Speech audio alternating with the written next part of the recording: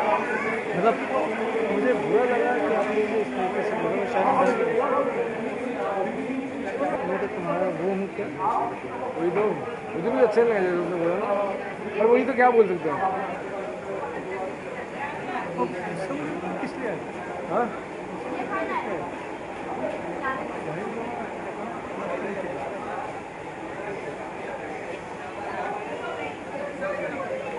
उसका टोन थोड़ा वैसा था कि मतलब ऑर्डर दे रहा था। चलो।